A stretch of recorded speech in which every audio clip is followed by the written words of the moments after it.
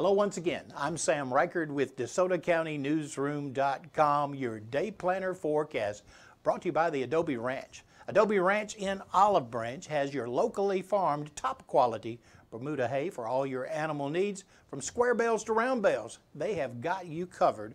Call Adobe Ranch today.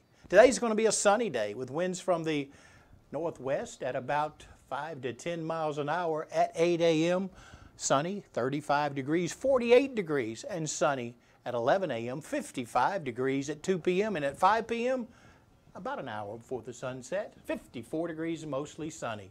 I'm Sam Rikard. Thanks for watching.